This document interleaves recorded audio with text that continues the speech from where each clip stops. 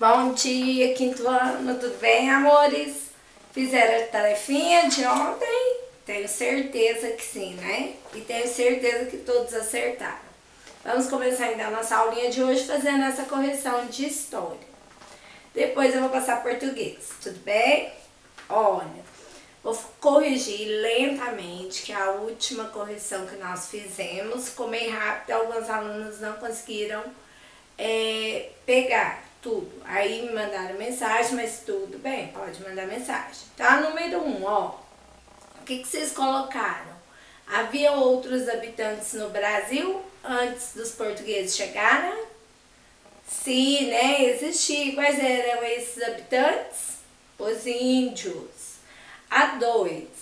Pergunta para você o seguinte: existiam outros povoadores antes mesmo dos índios? Aí lembra lá da Luzia que a tia falou? Que acharam um crânio em Minas Gerais, apelidaram ela de Luzia, e esse crânio estima-se que ele tem o quê? 10 mil anos a 11 mil anos atrás, não é isso? A 3. Gente, tá perguntando aí para vocês. Que outras terras Portugal conhecia até o século XV? Eles moravam na Europa, então, continente europeu. Fazia comércio com a África e com a Ásia. Então, é, então esses continentes que eles conheciam seriam Europa, África e Ásia, certo? A quatro. A quatro você não precisa colocar igual eu falarei para você, mas se você seguiu essa linha, ótimo, está certo. Pergunta aqui para vocês o seguinte: qual foi o principal motivo dessas grandes navegações? Eles queriam achar um caminho pelo Oceano Atlântico que não pagasse os impostos para a coroa francesa na época, né? Então, seguiu essa linha de raciocínio? Ótimo, tá certinho. A 5.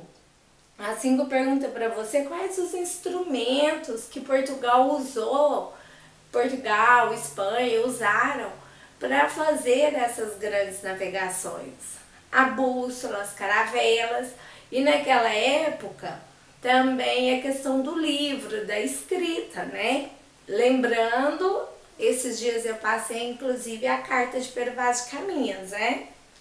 A 5 te pergunto o seguinte: onde, a 5A, onde que eles compravam esses produtos na Índia, em alguns lugares da China e algumas partes do Oriente, né? A 2 pergunta para você o seguinte, a B, desculpa. Qual, algum prato que você conheça que vai essas especiarias? O que, que essas especiarias? Cravo, canela. Então ela é pessoal, pode colocar aí do jeito que você achar. Eu passei não falei no vídeo, mas eu passei na imagem, nas mensagens, logo abaixo que eu mando antes do vídeo, para você fazer o quê? Um trabalhinho sobre Tiradentes, sim, porque terça-feira é um feriado nacional de Tiradentes. Eu quero que você pesquise sobre ele. Se quiser até aprofundar lá em Congelação Mineira, que isso aí inclusive te prepara já para o Brasil Império, matéria depois do Brasil colônia. Tudo bem? Agora, tem mais alguma atividade de história? Não. Vou deixar pra gente falar a próxima aula de história, aí eu te passo mais atividades. Eu quero que você agora, já que nós pegamos essa semana os livros, você vai pegar seu livro de português, lá na página 44. A página 44 você vai ver que tem um texto 45, interpretação de texto. 46, interpretação de texto. A 47 ela tem gramática, mas essa gramática nós já trabalhamos no seu caderno, que são o quê? O número de sílabas. Só lembrando, monossílaba quando tem só uma sílaba. Um exemplo, flor.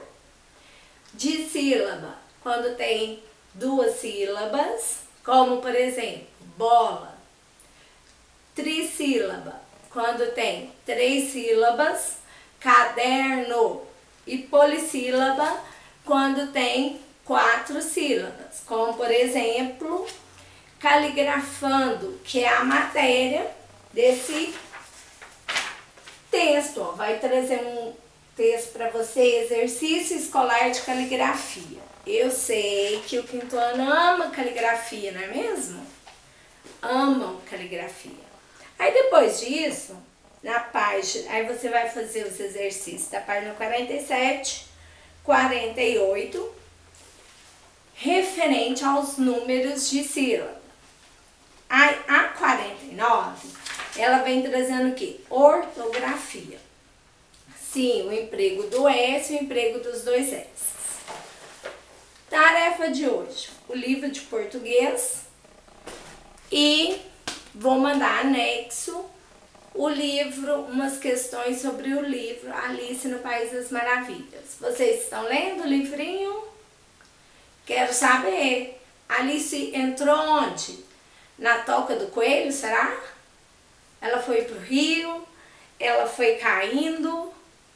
Quando ela chegou lá, encontrou uma porta adequada para o seu tamanho? É, isso você descobre como? Lendo o livro Alice no País das Maravilhas. É, só lembrando algumas coisas aqui. Os livros você vai corrigir vai ficar com você. Segunda-feira a tia estará lá na escola, da uma a uma e meia, esperando quem puder levar os materiais, trabalhos, tarefas, o caderninho de caligrafia, eu estarei lá para recolher, certo? Mas o livro vai ficar com você. É, essa matéria de português, farei a correção, com exceção da interpretação de texto. A interpretação de texto dá uma certa dimensão aí de interatividade a professora e o aluno. Mas a gramática eu irei corrigir, tá? E outra coisa, Segunda-feira, como eu falei com vocês, eu tinha trabalhado, eu separei um material de ortografia para trabalharmos. É, eu vou falar com vocês, vocês não vão me ver, porque eu fiz o material no PowerPoint e eu vou focar a câmera diretamente nos slides. E aí, né, como a tia está com essa tecnologia toda, eu ainda não aprendi a jogar os slides no vídeo. Mas ficou ótimo, eu tenho certeza que vocês irão gostar da aula. Tudo bem? Então, super beijos, fiquem com Deus.